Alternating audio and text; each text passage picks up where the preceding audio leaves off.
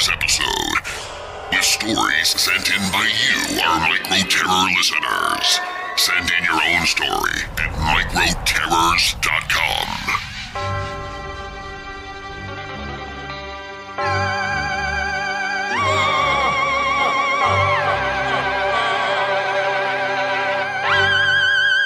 microterrors.com. Welcome to Micro Terrors. Scary stories for kids. Where it's always the spooky season. Full of chills, thrills, and spine-tingling spooks. Micro Terrors are family-friendly frights for those ages 8 and up. And while our stories are for younger ears, we are still talking about things that go bump in the night, and some children may not be able to handle what others can. Parental consent is recommended. Now, for tonight's Micro Terror.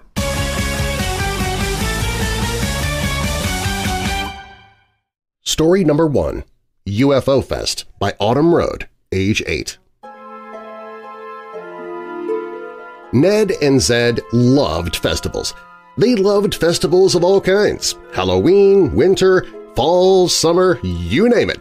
But their favorite one of all was just around the corner – the UFO Fest. They couldn't wait to see everyone dressed up as their favorite space creatures. Another thing they were looking forward to was the green cotton candy and the lime-flavored space ooze drink. The day of the UFO Fest had finally arrived. "'It's here!' yelled Zed. "'I can't wait!' screamed Ned. The brothers were all decked out as their favorite space creatures. Ned was dressed up as his favorite space alien, Blorf, while Zed was decked out as his favorite creature, the alien space commander. As the boys got ready to leave, they said goodbye to their pet turtle, Sarah. When they got to the parking lot, there was a UFO Fest sign on the left and a replica of an alien spaceship on the right. Ned and Zed were super excited to get a picture in front of the spaceship. They heard that you could even go inside and sit in the commander's chair and work all the controls. When Ned and Zed walked into the festival, they were excited to see all sorts of food stands, people in costumes, and a huge row of games where you could win tickets for prizes. Ned and Zed played a lot of games. They played Alien Bingo, Pin the Staff on the Aliens, Ring Toss, Alien Cornhole, and lots more. When Ned and Zed counted their tickets between the two of them, they had won a thousand. At the prize booth, they traded their tickets for two giant alien plushies, two green jump ropes, two large alien balloons, and a pack of lime Tootsie Rolls. The boys only had three tickets left, and the only thing they could get was a tiny, glowing alien balloon. Zed said, Hey, we can tie this around Sarah tonight while she's walking around the front yard. That's a good idea, said Ned. Once the boys arrived home, they got Sarah out of her tank and tied the balloon around her. Then they took her outside to the front yard to walk around. She was having a lot of fun. Ned even put a little leaf on her head. After about 10 minutes, the balloon started to flash. The boys looked at each other in confusion. All of a sudden, the boys heard a whooshing sound coming from the sky. When Ned and Zed looked up, they saw an alien spaceship. The door on the spaceship opened and a light shined down right on top of Sarah. Zed and Ned looked on in horror as Sarah began to lift up off the ground towards the light and into the spaceship. Sarah's little legs were frantically kicking the air. At the same time, Ned and Zed screamed, What's happening? The brothers lunged toward Sarah, but it was too late. Sarah was in the spaceship and the door had closed. The brothers' eyes filled with tears as the spaceship flew away.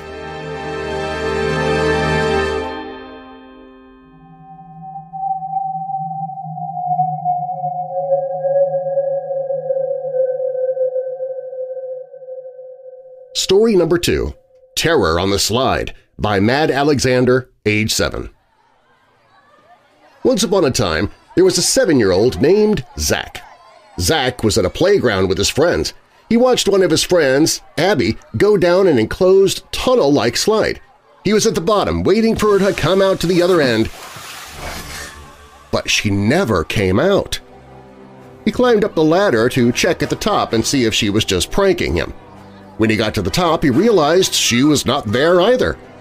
He called his other friend Mark up to the top to help look, but Mark decided to slide down the slide too. Zach said, No! He rushed down the ladder to see if Mark came out the bottom. Zach was surprised to see his friend was there. What? Zach said. You didn't disappear? I guess not, Mark said. Then where is Abby? Zach asked. I didn't see her anywhere, Mark said. Right then another little girl climbed the ladder to slide down. I'm sure she'll be okay since Mark came out of the slide, Zach said to himself. The little girl then slid down. Mark was also watching to see if the little girl came out, but she never did. Zach climbed up the ladder to see if he could figure everything out. He went down the slide. But when he came out, he found himself in another world. He saw a man with a squared-off head who just stood there and groaned. A portal appeared out of thin air behind the man. "'I don't need you,' he said in a scary voice. The portal then sucked Zack into it, and he reappeared at the bottom of the slide in his own world. He didn't see Mark right away, but quickly realized he was at the top, ready to slide again. "'Wait!' Zack yelled, and then climbed the ladder. Together, they decided to go down again. Zack was hoping for a better answer about what was going on this time around. This time, they both ended up in the other world. The man with the squared-off head stood there, still groaning. Hmm, maybe I'll keep you after all, he said with an evil smile.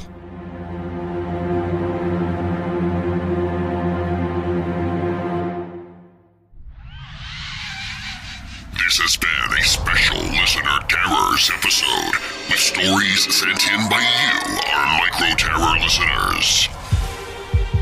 Thank you for listening to Micro Terrors. Join us each Saturday for another scary story. For more fun, visit our website at microterrors.com, where we will also have spooky games you can print out and play, like wicked word searches, mysterious mazes, and more. Microterrors.com is also where you can find us on your favorite social media and even send in your own scary story for us to tell. Plus, you'll learn more about our author, Scott Donnelly, who has other horrors for both young and old. I hope you'll join me again soon for Micro Terrors, Scary Stories for Kids.